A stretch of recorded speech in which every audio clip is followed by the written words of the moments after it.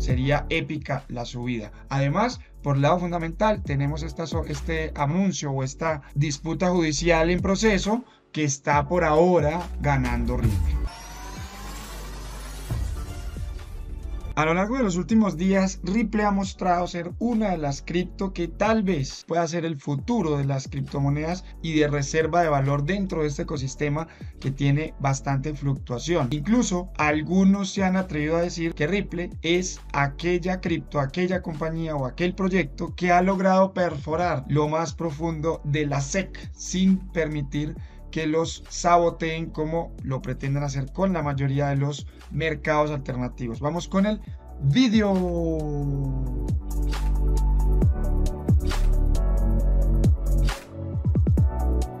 Bien, lo primero es darte las gracias por estar aquí y recuerden que estamos dando siempre este anuncio de exclusión de responsabilidad donde no nos hacemos responsables de inversiones ni sugerimos gastar, invertir o depositar dinero en ningún lugar. Todo esto debe ser tomado de manera didáctica e informativa, ¿vale? Así que vamos al lío, como dicen algunos. También recuerda, mis redes sociales, estamos en Twitter dando información, estamos en TikTok y en otras redes para que tengas más información corta y al día. Quiero que me cuenten si este tipo de análisis rápido que vamos a hacer, al final, obviamente, mira si te gusta, porque vamos a aprender aparte de analizar.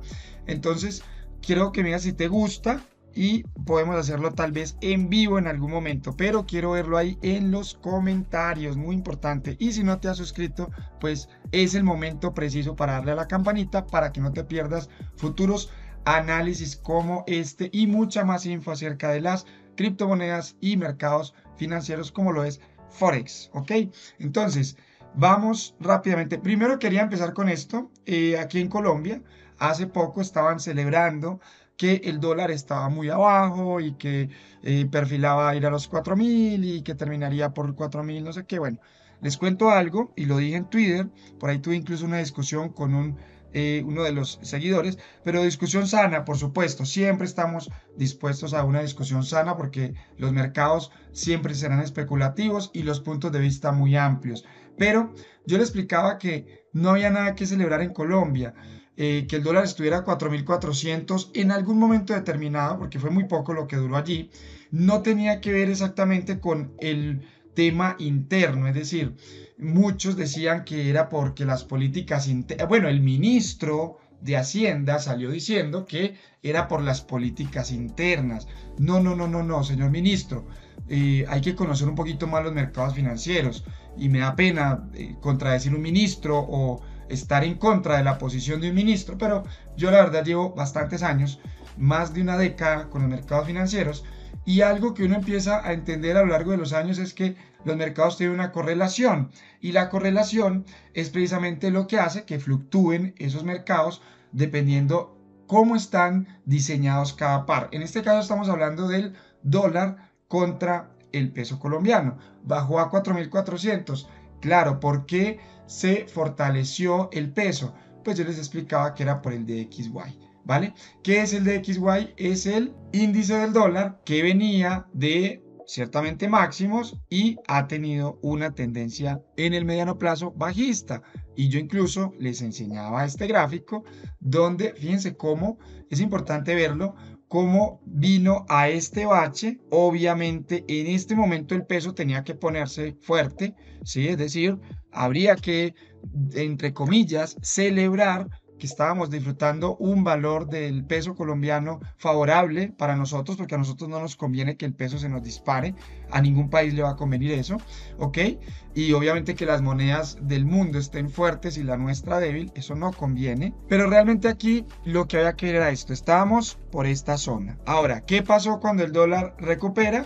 Y no mucho, precisamente pues el peso vuelve y se dispara. Entonces, la correlación del DXY fue el principal motivo por el cual el peso estuvo eh, fuerte frente al dólar los anteriores 3 a 4 días aproximadamente. De hecho, aquí lo tenemos, 13 y 14 de abril fue como la zona donde el dólar tuvo ese bajonazo, el índice del dólar, ¿vale? Y aquí miren que ya está en una senda de recuperación y probablemente, quién sabe que se invente la SEC y la Reserva Federal para mejorar este tema. Así que Mucho cuidado, el peso colombiano está todavía igualitico, nada ha cambiado, no es que haya mejorado mucho, no es que haya hecho cosas muy buenas nuestro ministro, simplemente lo único bueno que ha hecho, o lo único que ha hecho, porque no es bueno, es salir a celebrar que el, eh, que el dólar estaba débil frente al peso, pero esto no es ninguna celebración porque estamos en contra de una de las divisas más fuertes del mundo, si no es la más fuerte, que es el dólar. Así estén diciendo que el yen, que, la BRICS y todas esas monedas alternativas, o el euro como tal, pero falta mucho para eso. ¿Listo? Vamos a... Eh, cuéntenme ahí, ahí en los comentarios los quiero leer. ¿Qué opinan? Peso colombiano, peso mexicano, ojo. Eh, también, eh, que ese es uno de los más fuertes, cómo le ha ido estos días, y el chileno, que pues obviamente Chile también afronta un gran problema de inflación actual, así que quiero leerlos. Tema de discusión sana, de trading, no tema político, porque obviamente eh, respetamos todas las creencias y todo lo que cada quien eh, tiene en su, en su filosofía política, pero aquí lo que vamos a analizar es el mercado como tal. Bien, ¿Qué tenemos en XRP? Tenemos un triángulo simétrico. No es tan simétrico, obviamente los gráficos siempre se van a poder acomodarse, pero sí, porque yo puedo subir esta línea un poquito acá y ya me queda 100% simétrico, pero sí tenemos un triángulo. Un triángulo lo que hace es demostrar que un activo ha perdido bastante volatilidad, pero que está dirigiéndose a una zona que si la puede romper, podríamos ver resultados importantes. Esa zona en estos momentos nos dice que Ripple pudiera ser, pudiera ser una oportunidad en long. ¿Por qué? Vamos a explicar poco a poco estas líneas que tenemos. Esto que tenemos acá es una directriz bajista, pero esta directriz bajista, tengamos en cuenta que fue una zona de alta confluencia. ¿Qué quiere decir esto? A ver, cuando uno traza líneas en análisis técnico, no traza por trazar. Ay, que toco aquí, toco aquí, toco aquí, toco aquí y ya, con eso me... No, no, no, no.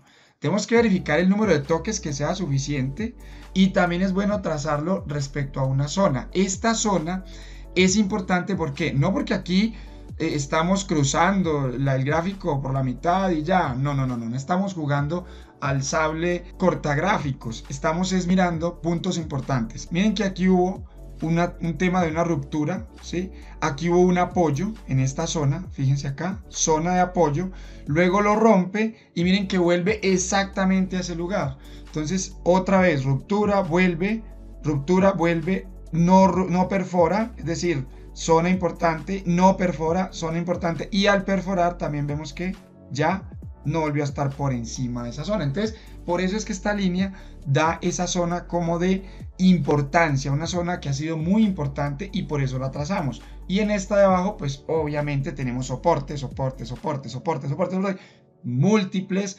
soportes. Esto nos forma este triángulo. Entonces, yo tengo aquí un ratio riesgo por ser muy conservador, esto es un gráfico diario, de que la cripto caiga un 40%. Sería un ratio riesgo 2 a 1. Es decir, lo que puede caer, que es un 40%, puede subirlo al doble. ¿Ok? Sin embargo, podemos ajustarlo aquí porque esta es la zona real. Esta es la zona real para tener una caída que no vaya a perforar esta zona importante. Entonces, ya sería un ratio, lo convertimos en 4 a 1. Cuatro veces ganar lo que estamos arriesgando. ¿Listo?